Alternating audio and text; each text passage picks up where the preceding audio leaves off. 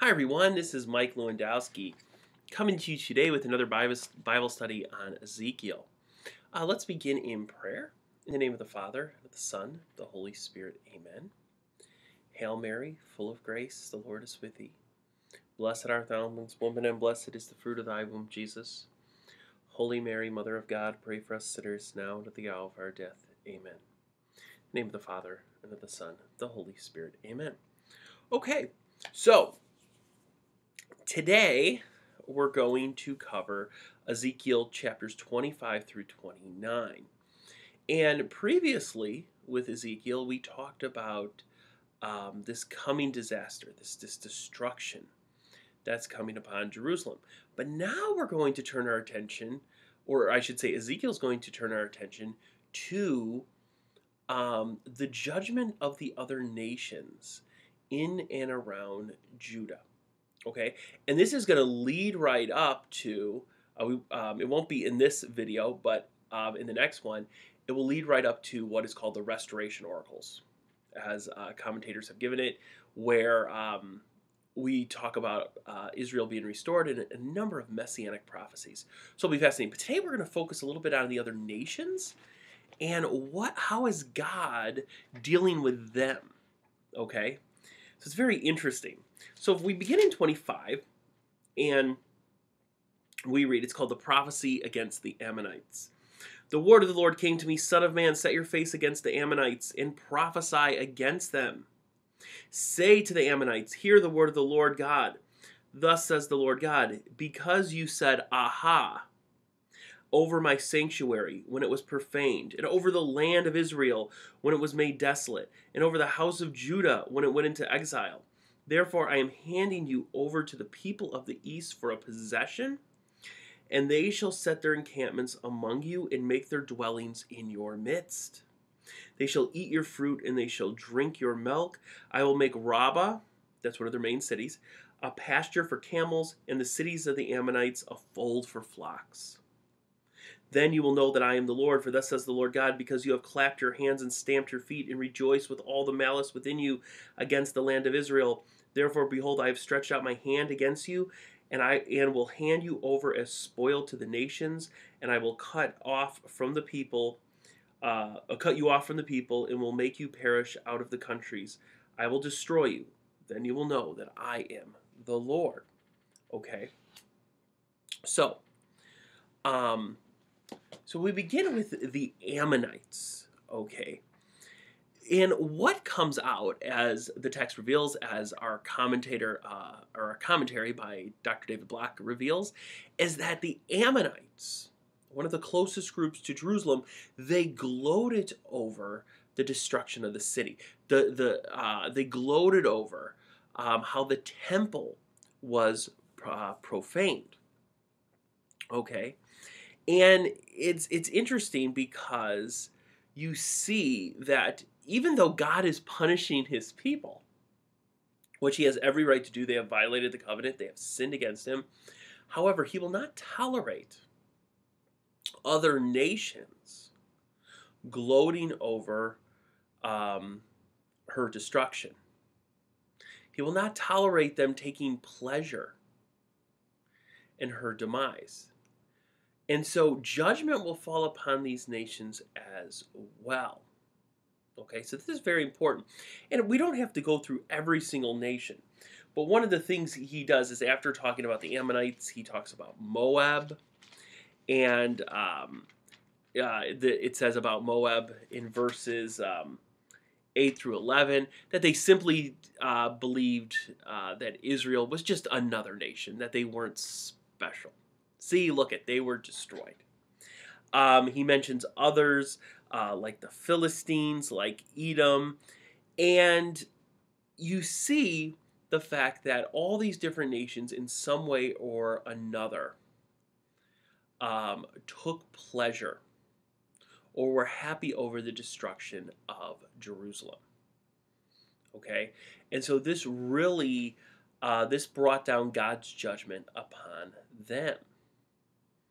Okay, and so it, it would be like you know, if, you know, my kids are really little, but what if they were older and, you know, uh, let's say they were, uh, one of my sons was a teenager and they got busted for drinking and driving, um, so, you know, something to that effect. You know, obviously I'd be furious. I'd be so angry. Okay.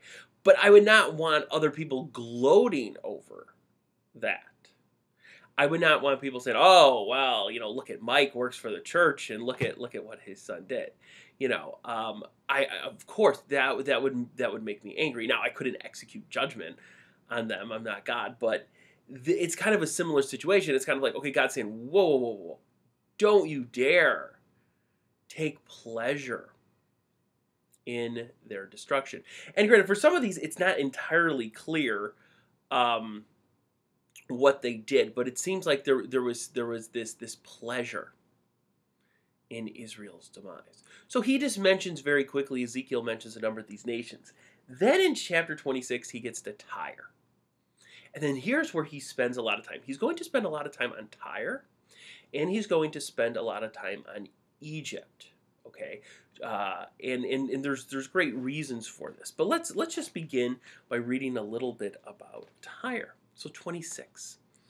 In the 11th year, on the first day of the month, the word of the Lord came to me. So, just so we know, um, according to our commentary, this most likely is coming. This uh, oracle, this prophecy, is coming on Feb in coming in February of 585. So this is after um, the destruction of Jerusalem. Son of man, because Tyre said concerning Jerusalem, Aha! See, notice the gloating. The gate of the peoples is broken. It is. It has swung open to me. I shall be replenished now that she is laid waste. Therefore, thus says the Lord God Behold, I am against you, O Tyre, and will bring up many nations against you as the sea brings up its waves. They shall destroy the walls of Tyre and break down her towers, and I will scrape her soil from her and make her bare rock. She shall be in the midst of the sea, a place for the spreading of nets. For I have spoken, says the Lord God, and she shall become a spoil to the nations, and her daughters on the mainland shall be slain by the sword. Then they will know then that I am the Lord. For thus says the Lord God, Behold, I will bring up Ty- I will bring upon Tyre from the north Nebuchadnezzar, king of Babylon, king of kings, with horses and chariots and with horsemen, and a host of many soldiers. He will slay with the sword your daughters on the mainland. He will set up a siege wall against you and throw up a mound against you and raise a roof of shields against you. He will direct the shock of his battery rams against your walls, and with his axes he will break down your towers. So I'm going to stop there after the first 10 verses. Okay, so as we can guess, Tyre will come under God's judgment. Okay, and um, they were, the leadership was overjoyed at Jerusalem's demise. And one of the reasons is when I was when I was research, researching this in the commentary is okay, so Tyre was known for its trading. Okay. And one of their main competitors was Jerusalem. So they looked at this, uh, among other things, as, a, as an economic opportunity. Oh my goodness, one of our biggest competitors has just been wiped out. How much, you know, richer will that make our nation? Okay. So this is they're they're taking pleasure in this. They're seeing how the demise of the Jewish people is going to ultimately enrich them. Now, because of this, God says that many nations will go up uh, and attack you. And and as Block points out, when he talks about the the daughters being slain on the mainland, those are the towns that were on the coast. The actual um, the the main area Tyre was on an island. Okay, so it was it was um, it was on an island with yes some towns and you know maybe what we would call today suburbs on the mainland. Okay, so Tyre was very protected city. It was known for its wealth and numerous items of trade went in and out of the city. So Tyre was was a very strong economic um, and military power of that time. Okay? Now, God says, though, that Babylon will attack Tyre. and he'll destroy the towns on the mainland and he'll lay siege to the city. And again, when we talk about a siege, what they would do, is they would build up, um, you know, mounds, uh, trenches. You know, the soldiers would surround the city and just kind of starve it, cut it off until either the people surrendered or they could just bust through the walls. Um, and according to this prophecy, the chariots will break through into the city and death will ensue. And then the enemy, of course, will plunder the city. They'll take the spoil. So, this is what Ezekiel says um, is the fate of Tyre. Now, we continue. Um, um, in verse 12, they will make a spoil of your riches and prey upon your merchandise. They will break down your walls and destroy your pleasant houses, your stones and timbers and soil and they will cast into the midst of the waters. And I will stop the music of your songs, and the sound of your lyres shall be heard no more. I will make you a bare rock. You shall be a place for the spreading of nets. Those are fish nets, like where they would dry out the nets. Um, and you shall, um, and you shall never be rebuilt. For I, the Lord, have spoken, says the Lord God. So he goes on talking about the plundering of the city, and then he talks about how the princes of Tyre will have to step down from their thrones. They'll have to take off their robes. They're, they're, they're symbols of authority. And um, a song of lamentation and grief will go up um, in the city. So Ezekiel, again, is talking about this coming devastation. Um, this coming devastation to the people of this land. And in 27, chapter 27 of Ezekiel, the word of the Lord came to me.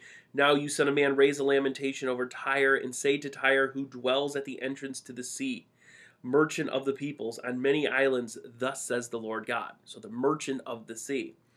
O Tyre, um, you you have said, I am perfect in beauty. Your borders are, are in the heart of the seas. Your builders made perfect your beauty.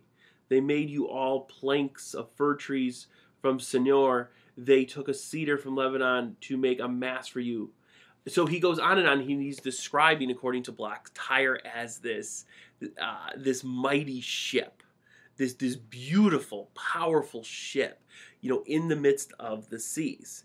And then he goes on, beginning in chapter ten, and going through um, the succeeding verses, naming all the different nations that traded with Tyre, all the merchandise that went in and out of the city. You know, even says in verse 17, Judah in the land of Israel traded with you. They exchanged for your merchandise wheat, olives, and early figs, honey, oil, and balm. So you see the wealth, all the business that is going in and out of this city. Okay. And of course, this this this image is, is one of wealth, is one of power.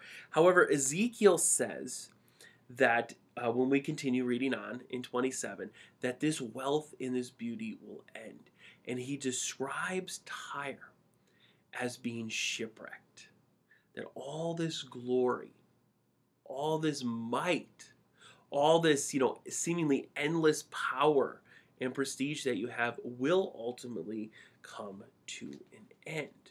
Okay, so that's what 27 is. We don't have to go through every verse. It's just talking about the again the glory of Tyre and its destruction. Now, 28 chapter 28 of Ezekiel gets into Tyre again. And it's uh, I'm just going to read the first 10 verses. The word of the Lord came to me, Son of man, say to the prince of Tyre, Thus says the Lord God, because your heart is proud, and you have said, I am a God, I sit in the seats of gods, in the heart of the seas, yet you are but a man and no God, though you consider yourself as a as wise as a God. You indeed you are indeed wiser than Daniel. No secret is hidden from you. By your wisdom and your understanding, you have gotten wealth for yourself and have gathered gold and silver into your treasuries. By your great wisdom in trade, you have increased your wealth, and your heart has become proud in your wealth. Okay? Therefore, thus says the Lord God, because you consider yourself as wise as a God, Therefore, behold, I will bring strangers upon you, the most terrible of nations, and they shall draw their swords against the beauty of your wisdom and defile your splendor. They shall thrust you down into the pit, and you shall die the death of the slain um, in the heart of the seas. Um, um, will you still say, I am a God in the presence of those uh, who slay you, though you are but a man and no God? In the hands of those who wound you, you shall die the death of the uncircumcised by the hand of foreigners, for I have spoken, says the Lord God. Okay, so um, again, you see this prince, this leader of Tyre, the pride, the arrogance, declaring himself to be a God. And as, as Ezekiel says, inspired by the Holy Spirit, you are no God. Will you say you're a God? When they're destroying your city, when they're destroying the land, when when your life is about the end, will you declare yourself then to be a God? So you see, this arrogance, that pride will fall, just like it's Satan in his pride fell. And, and you know, one of the things Christ, of course, um, emphasizes throughout his ministry is humility. Is to have not to be prideful, but to realize everything is a gift from God. And it's not because of our own doing or greatness, but everything is a gift from God. And this is why Mary, especially the Virgin Mary, is especially uh, just a model of humility. Be it done unto me according to thy word. But you see the arrogance of the proud will always lead to a fall. And how many political figures in our own day, in our own time, have fallen, you know, full of arrogance and pride, and then they are basically forgotten. They have fallen off of the pages of history.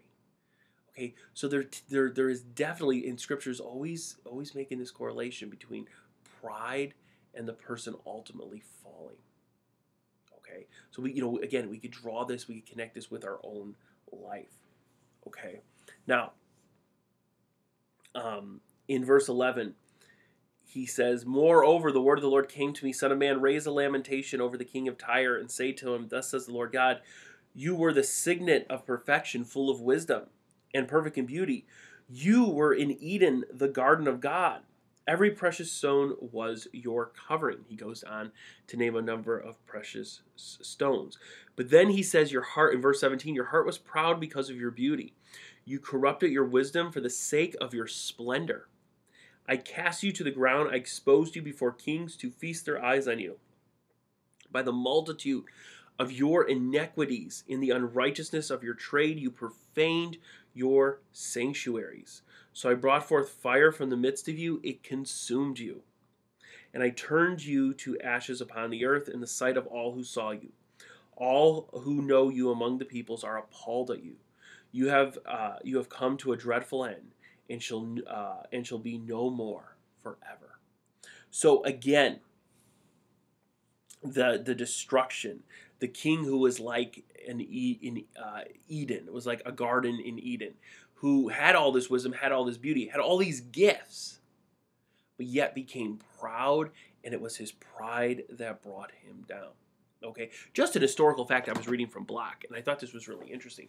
This is kind of the one prophecy in Ezekiel that doesn't necessarily come to fruition. Okay, yes, Babylon did attack Tyre. Yes, they did uh, form siege works around it. But Tyre was ultimately not defeated by Babylon. Okay? Um, they would eventually be defeated by Alexander the Great. That's when they would disappear. So Ezekiel will actually even bring this up, why this took place. But it is kind of interesting. So, I mean, all this, I mean, Babylon did attack them, the siege works, everything like that. It's just ultimately Tyre was not destroyed here. So I did want to bring that up, and I found that interesting.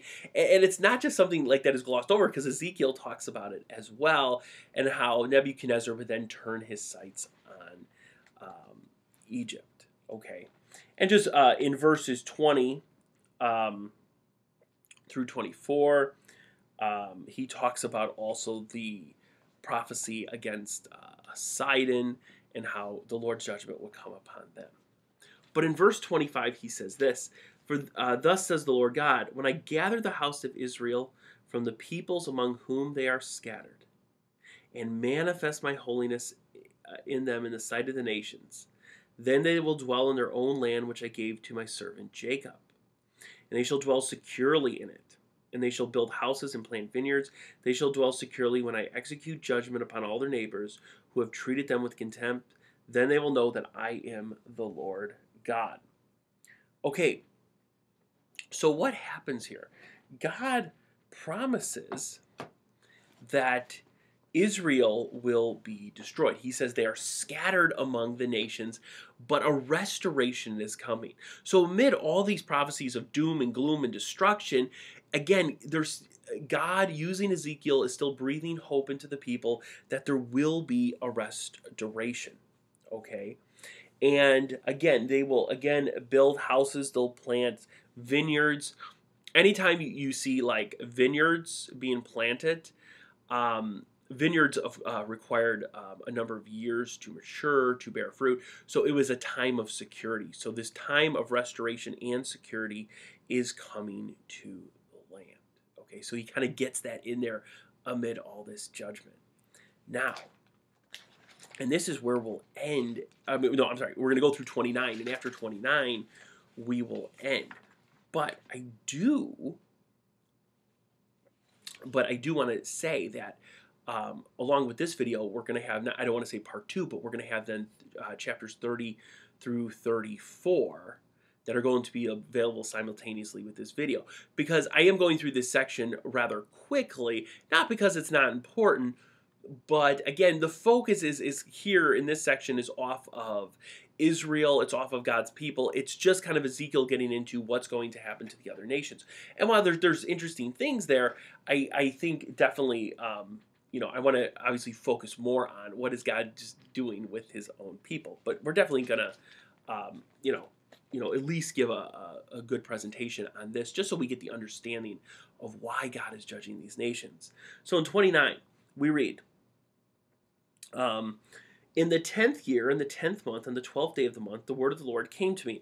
Uh, according to Block, this is January 7th, 587, and it concerns the Egyptian kings and the land. And he says um, in verse 3 Behold, I am against you, Pharaoh, king of Egypt. The great dragon that lies in the midst of his streams, that says, My, my Nile is my own. I made it. I will put hooks in your jaws and make the fish of your streams stick to your scales, and I will draw you up out of the midst of your streams, with all the fish of your streams, with sticks uh, which stick to your scales, and I will cast you forth into the wilderness, you and all the fish of your streams, you shall fall upon the open field and not be gathered and buried. To the beasts of the earth and to the birds of the air I have given you as food. Then all the inhabitants of Egypt shall know that I am the Lord God, because you have been a staff of reed to the house of Israel. When they grasped you with the hand, you broke and tore all your shoulders, and when they leaned upon you, you broke and made all their loins to shake. Therefore, thus says the Lord God Behold, I will bring a sword upon you and cut off from you man and beast. And the land of Egypt shall be a desolation and a waste. Then they will know that I am the Lord.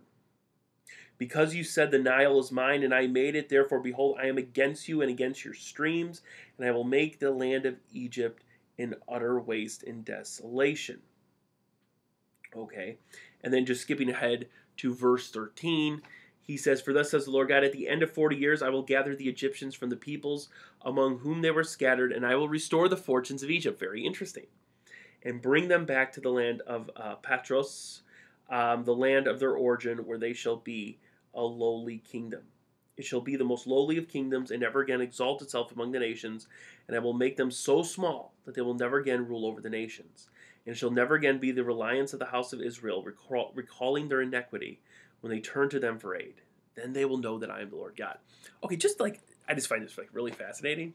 So like we you know we kind of quickly went through like all these cities that are going to be destroyed and they don't exist to this day, right? Like uh, Moab, Tyre, uh, you know the Ammonites. These places are going to eat them. but God says, "Oh, I'll restore Egypt though."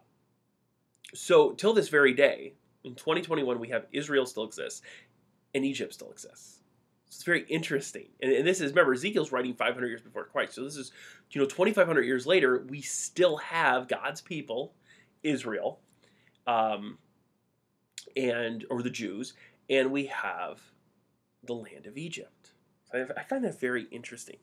So, okay, this image of like this, this gigantic fish, um, or this gi- gigantic dragon. My my translation uses some translations use monster is like basically like it's describing Pharaoh as like this big monster in the Nile with his tentacles going through all these canals because of course the Nile's like this this this this really river of life for them. Okay. But the Lord, what does he do? And this monster looks scary, and oh my goodness, what are we going to do? He's controlling the river, this gigantic sea monster. Well, the Lord hooks him like a fisherman and flings him out of the river onto, you know, into the wilderness, onto the ground where he dies and he becomes the food of beasts. And he says he did this because Egypt was a staff of reed to Israel. According to Block, the image shows Egypt's futility against the Babylonians and their inability to help Israel. Remember, Israel was entering into all these different treaties trying to protect, um, you know, trying to push back Babylon. Okay. Um, but Egypt really was not able to help. They did make an attempt to fight, but they were eventually driven away. So um, they'll be scattered like the Israelites, but they will be restored as well. Okay, so God says Israel will be restored, but they will not possess the grandeur that they once did. Okay, very interesting.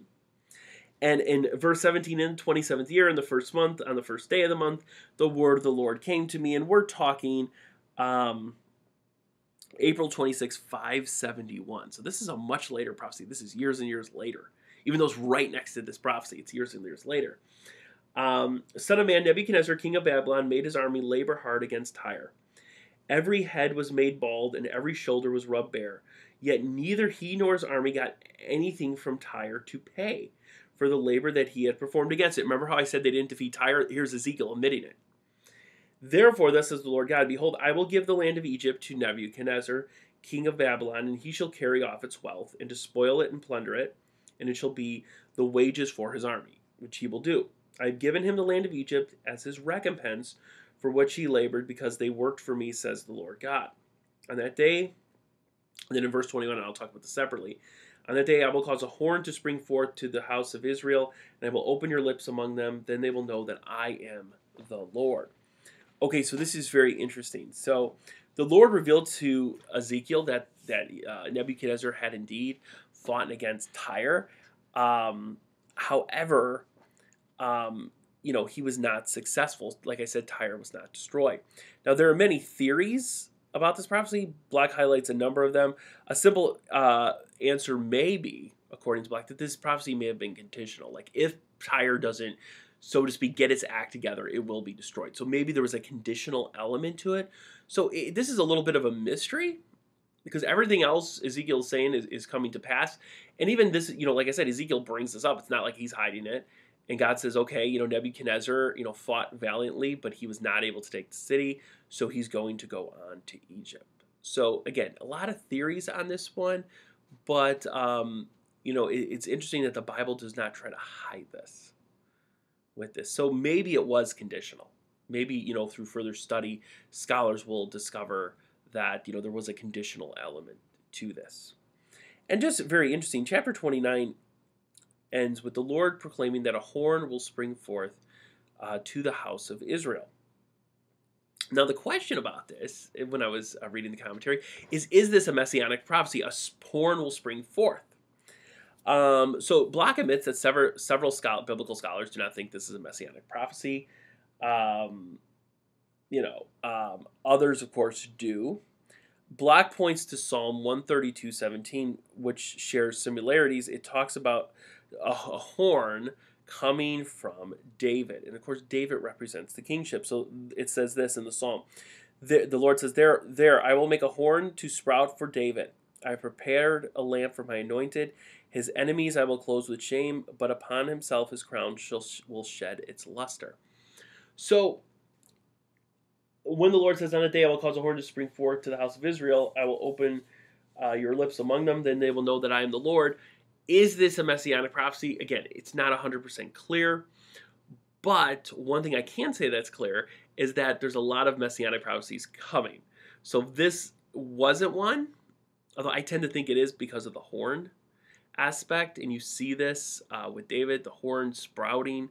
Um, you know, but the, again, that's that's uh, you know maybe not entirely clear, but we have a lot more mess, uh, messianic prophecies coming. So the next class will cover 30 through 34. We're going to finish uh, some of the prophecies against Egypt, and then we're going to get into um, how is a restored Israel going to look? Who will the Messiah be? So let's close in prayer. In the name of the Father, and the Son, and the Holy Spirit. Amen. Glory be to the Father, and to the Son, and to the Holy Spirit, as it was in the beginning, is now, and will be forever. Amen. In the name of the Father, the Son, Holy Spirit. Amen. Thank you so much uh, for watching this video, and I will see you soon.